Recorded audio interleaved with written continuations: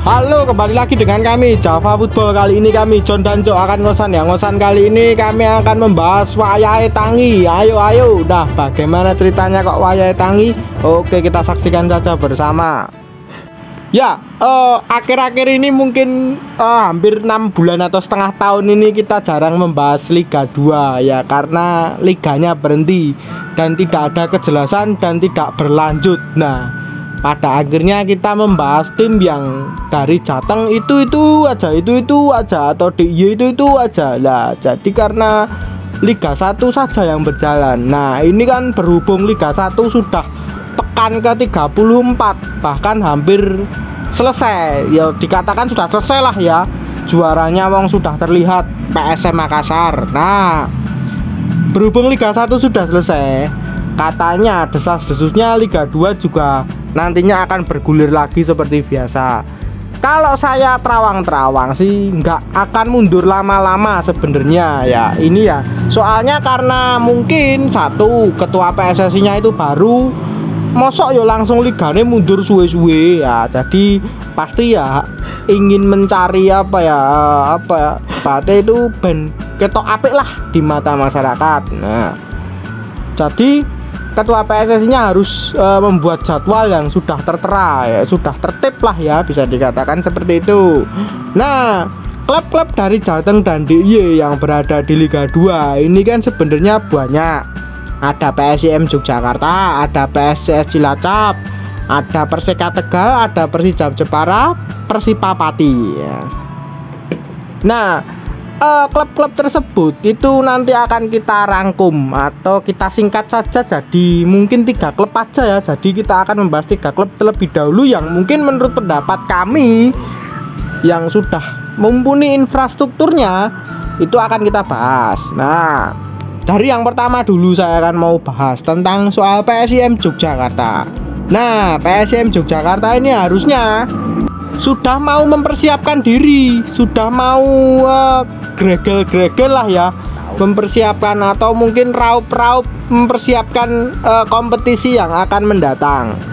Sudah mulai planning-planning pelatihnya itu siapa yang akan ditunjuk lagi, apakah coach Irwan atau siapa?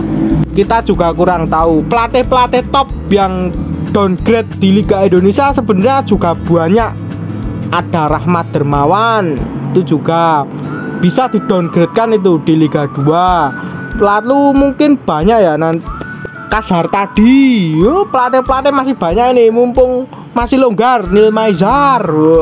Banyak yang longgar ini pelatih-pelatih lokal ini. Sebenarnya ini penak lah ya untuk memilih pelatih e, nantinya untuk ke Liga 1 nah siapa yang akan dipilih PSM Yogyakarta nanti? Kita juga kurang tahu. Itu nanti pihak dari manajemen apakah manajemen menargetkan uh, apa ya naik ke Liga 1 atau gimana saya juga kurang tahu. Harusnya sih targetnya Liga 1 soalnya uh, mungkin dari segi uh, tonggo-tonggo ini wis Liga kabeh. Nah seperti itu kalau untuk PSM Yogyakarta. Menurut pendapatmu gimana tuh tentang PSM Yogyakarta ini persiapannya? Sesuai judul Wayatangi. Karena memang uh, PSM Jogja ya kemarin memang kita melihat bahwa manajemen um, menargetkan ya ke Liga 1 sih juga tahun kemarin akhir tapi akhirnya uh, kompetisi dihentikan. Nah, tahun ini uh, kita berharap uh, manajemen ini kalau kemarin itu menargetkan ke Liga 1 kalau sekarang saya harapannya wajib Liga 1 Wah, loh maksudnya tegas loh.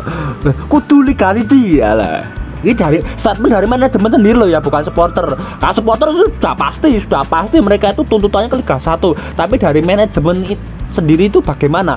Uh, ketegasannya untuk ke Liga 1 karena ini kan menentukan ya nanti uh, jajaran kepelatihan siapa jajaran pemainnya siapa terus nanti masalah uh, stadion Mandala Krida atau stadion Sultan Agung itu bagaimana kok home nya karena memang kalau memang manajemen itu serius ke Liga 1 berarti kan uh, Mandala Krida menjadi opsi yang paling bagus ya loh tidak ngungsi lagi ke Bantul loh. Karena memang uh, berarti kan manajemen mau berdiskusi dengan Pemkot Jogja untuk uh, membenahi infrastrukturnya ya. Mestinya membenahi stadion Mandala Krida itu bagaimana. Karena dulu kan sempat masalah lampu kayak masalah ini kayak masalah izin ini kayak eh, jadi tahun ini memang eh, satu kompetisi satu musim eh, seharusnya bisa full ke Mandala Krida ya. Nggak ngungsi-ngungsi lagi. Eh.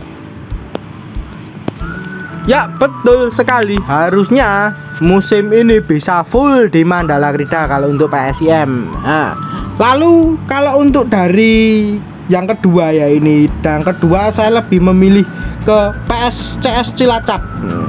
PSCS Cilacap sendiri ini eh, masih mau mempertahankan Hendri Susilo atau mau ganti pelatih yang lainnya? Nah, ini juga harus dipertanyakan. Sedangkan PSCS Cilacap saya rasa untuk kemarin ya waktu Liga 2 sebelum dibekukan statement dari manajemen sendiri seperti tidak ada mau niatan untuk ke Liga 1 atau se- sebatas cuma ingin bertahan di Liga 2 terus lah ini kenapa ini dengan manajemen PSCS Cilacap ini? Harusnya memang seperti seperti ini sudah mulai ditanyakan oleh dari supporter PSS Cilacap sendiri eh, tentang keseriusan manajemen. Ini mau dibawa ke mana PSS Cilacap?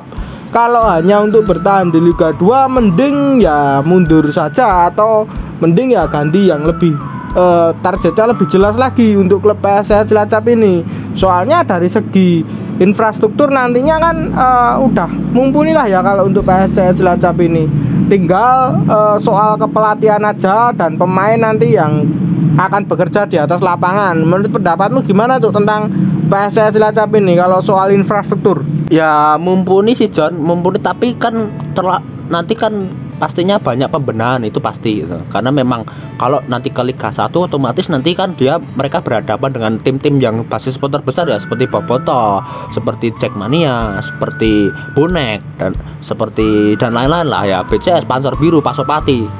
Itu kan basisnya besar. Kalau away ke sana bisa nampung nggak? Masalah seperti itu kan ya.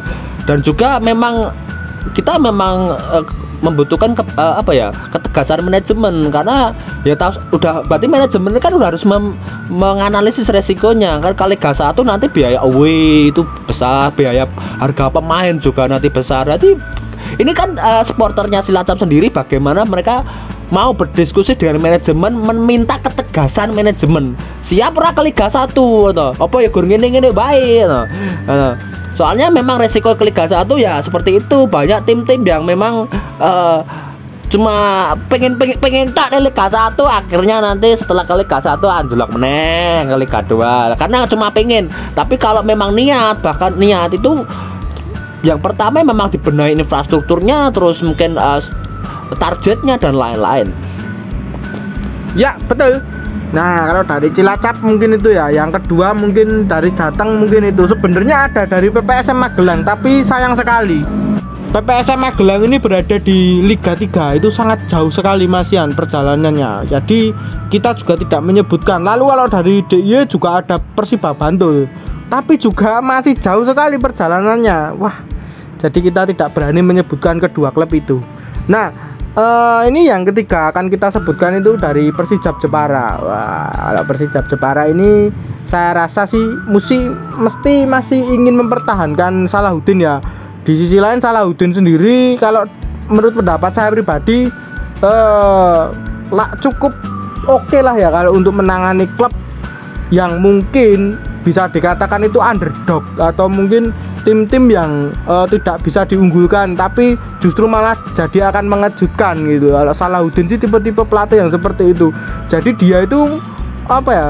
Tipe-tipe orang yang mengambil pemain tuh yang sesuai kualitasnya itu. Makanya bagus lah ya tipe pelatih ini. Saya lebih suka sih dengan pelatih ini kalau untuk melatih klub eh, Liga 2. Jadi saya harap sih masih bisa dipertahankan. Kalau mau ganti ya monggo itu bebas-bebas saja.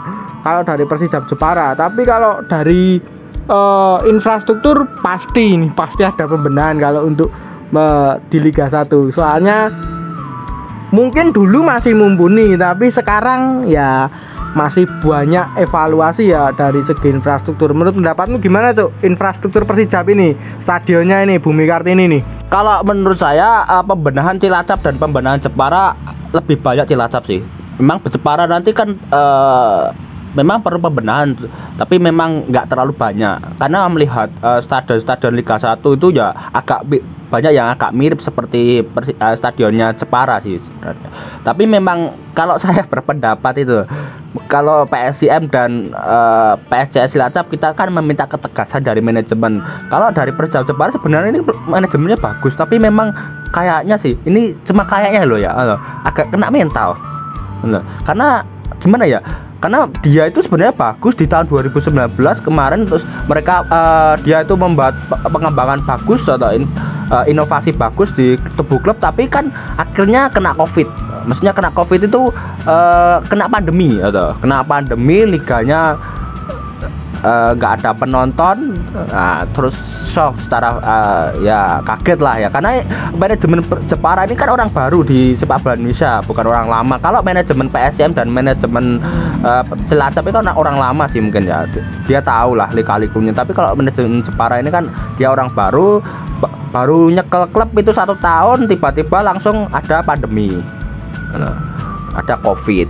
Terus setelah itu ada tragedi kanjuruhan terus Liga 2 di stop. Lah kacau gitu ya kita berharap ya anu ya semoga manajemen Persijap Jepara ini tetap semangat sih bahasanya tetap semangat loh, tetap uh, bisa mengurus Persijap Jepara dengan baik gitu. ini motivasi deh. Lebih ke motivasi bukan menekan sih. Lebih kita ngasih motivasi karena memang ya ujiannya berat uh, menjadi uh, pengurus bola Betul. Nah, ujiannya memang sangat berat sekali ya seperti ini, seperti uh, pemilik klub Persijap Jepara dan mungkin lainnya, mungkin PSM juga sama. Lalu uh, PSS Cilacap juga sama, mungkin seluruh klub Liga 2 sih. Berat ujiannya untuk tahun ini. Nah, mungkin itu saja perbincangan kita tentang Gugai klub Liga Loro. Jangan lupa like, comment, dan subscribe.